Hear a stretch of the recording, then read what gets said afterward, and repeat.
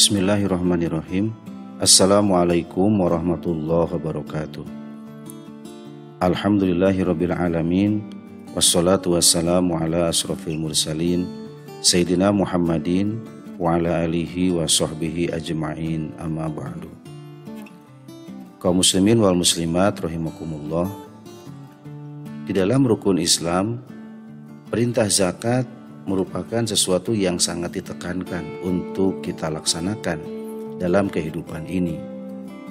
Hal itu menunjukkan ada banyak hikmah yang amat penting bagi diri kita maupun muslim yang lain dalam arti manfaat yang bisa dirasakan begitu banyak.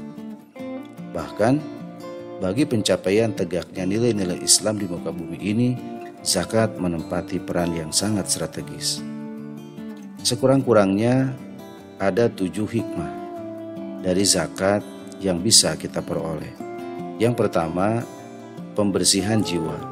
Sebagaimana arti zakat yakni membersihkan jiwa. Ini berarti orang yang melaksanakannya akan bersih dari ikatan duniawi dan tersucikan dari noda dan dosa yang berkaitan dengan harta. Allah Subhanahu wa taala berfirman, "Khudh min amwalihim sodakotan tutohiruhum wa tuzakihim biha. Ambillah zakat dari harta mereka, dengan zakat itu kamu membersihkan dan mensucikan mereka. Quran Surat At-Taubah ayat 103 Yang kedua, yang merupakan hikmah zakat adalah menumbuhkan rasa tanggung jawab sosial. Persoalan umat Islam sekarang ini terasa sangat besar. Salah satu sebabnya adalah berkaitan dengan pendanaan yang sangat minim, apalagi semakin banyak masyarakat kita yang miskin.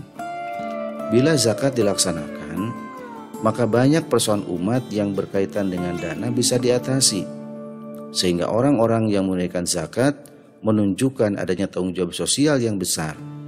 Satu sikap yang sangat diperlukan bagi pembangunan umat. Karena itu, Allah Subhanahu wa Ta'ala mengingatkan kaum muslimin untuk tidak bermegah-megah dalam kehidupannya. Alhaqumut takasur hatta zurtumul maqabir. Kalla saufa ta'lamun.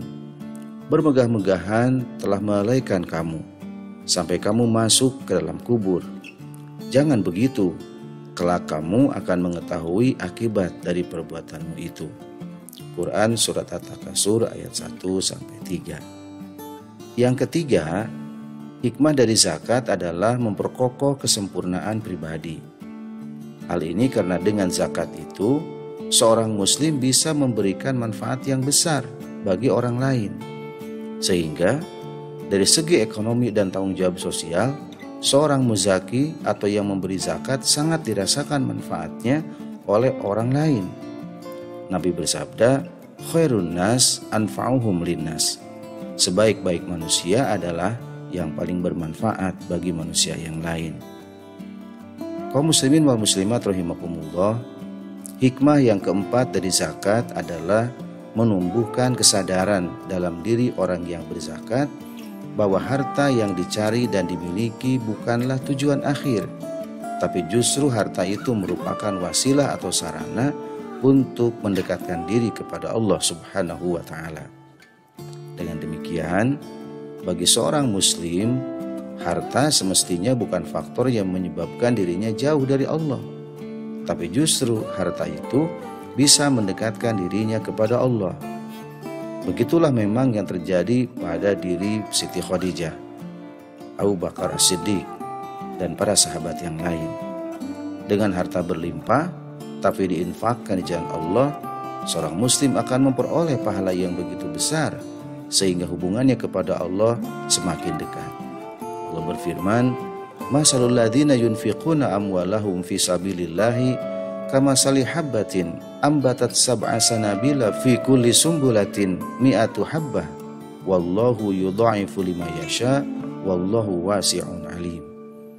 Perumpamaan nafkah yang dibelanjakan orang-orang yang menafkahkan harta di jalan Allah adalah serupa dengan sebutir benih yang menumbuhkan tujuh bulir.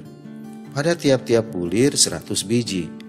Allah melipat gandakan ganjaran bagi siapa yang dia kehendaki. Dan Allah maha luas karunia-Nya lagi maha mengetahui.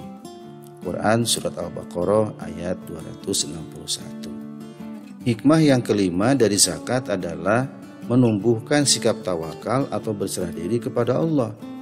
Ini merupakan sikap yang harus dimiliki, apalagi dalam perjuangan menegakkan agama Allah. Bila sikap ini tidak dimiliki, maka sangat sulit seseorang bisa berjuang secara baik, mengingat tidak ada kepastian penghidupan.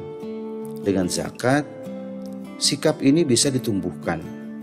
Seorang muzaki yang sejati akan percaya sepenuh hati kepada Allah dan lebih mempercayai apa-apa yang ada pada Allah ketimbang yang ada pada dirinya sendiri.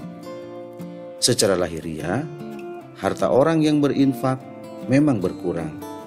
Tapi pada hakikatnya, orang yang berzakat, orang yang berinfak dengan penuh keikhlasan justru meyakini sebaliknya.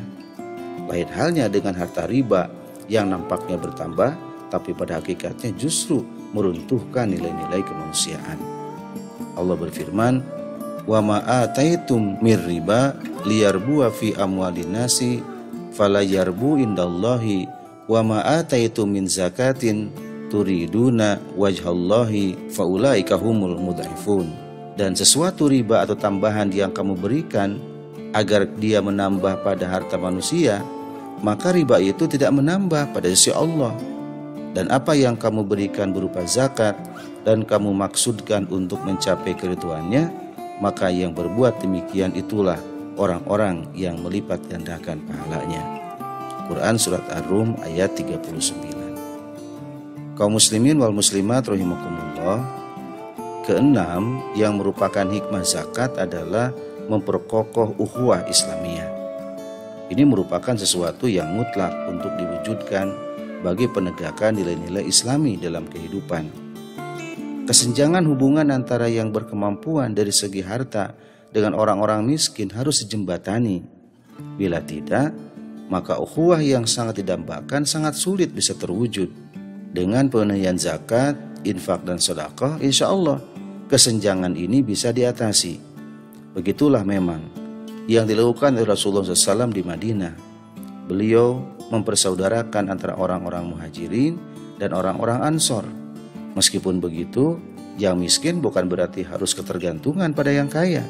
Tapi yang kaya justru harus mampu mengangkat yang miskin dari di bawah garis kemiskinan ke garis kemiskinan lalu dinaikkan lagi ke atas garis kemiskinan sampai lebih tinggi lagi di atas garis kemiskinan hingga teratasi kemiskinannya itu lalu menjadi seorang muzaki bukan lagi mustahik.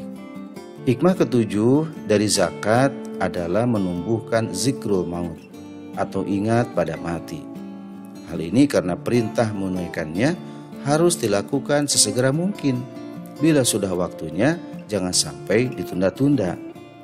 Bila penunaian ditunda-tunda, lalu yang bersangkutan sampai kepada ajalnya, maka yang timbul adalah penyesalan yang tiada terkira.